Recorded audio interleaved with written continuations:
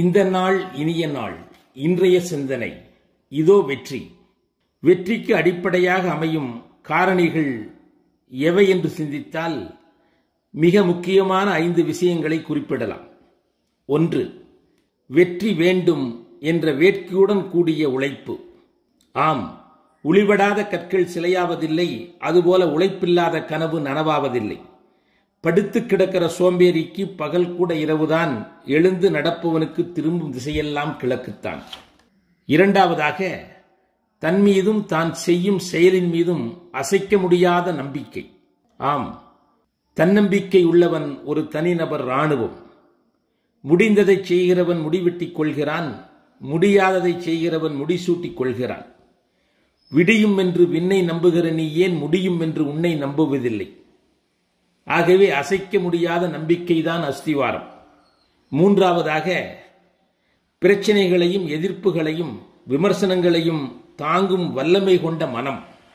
ஆம் சின்ன சின்ன அதிர்வுகளை கூட தாங்க முடியாத பொத்தில் குடிசையாக மனசு இல்லாமல் இடியை கூட தாங்குகிற இரும்பு கோட்டையாக இருக்க வேண்டும். அவமானப்படுகிற போதெல்லாம் ஒரு அவதாரம் எடுக்க வேண்டும். வீழுகின்ற போதெல்லாம் ஒரு விசுருவம் எடுக்க வேண்டும்.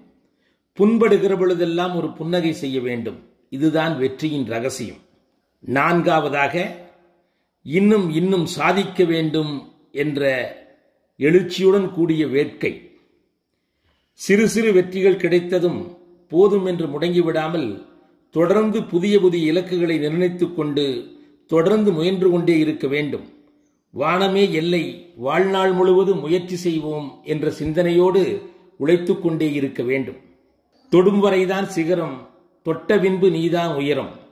உயரம் என்றால் எவரெஸ்ட் உயர வேண்டுமென்றால் நெவர் ரெஸ்ட் என்று ஓடிக்கொண்டே இருப்பதோடு முயற்சிக்கு முன்னால் வருகிற தயக்கமும் வெற்றிக்கு பின்னால் வருகிற மயக்கமும் நிலையான முன்னேற்றத்தை கொடுக்காது என்பதை நினைவில் கொண்டு ஓடிக்கொண்டே இருக்க வேண்டும். ஐந்தாவதாக ஓயாது துரத்தும் உயர்வான லட்சிய கனவு. அப்துல் கலாம் சொன்னதைப் போல தூக்கத்தில் வருவதல்ல கனவு நம்மை தூங்காமல் செய்வதுதான் கனவு என்பதை உணர்ந்து கொண்டு எந்நேரமும் லட்சியத்தை நோக்கியே சிந்தித்துக் கொண்டிருக்க வேண்டும். இந்த ஐந்தும் அணையாத நெருப்பென அடிவயிற்றில் எரிந்து கொண்டே இருக்க வேண்டும். இந்த நாள் இனிய நாளாகட்டும். இனிவரும் ஒவ்வொரு நாளும் இனிய நாளாகவே மலரட்டும். கோவிட் நைன்டீன் தடுப்பு முறைகளை முழுமையாக கடைபிடித்து ஆரோக்கியமான உலகு படைப்போம். வாழ்த்துக்கள்.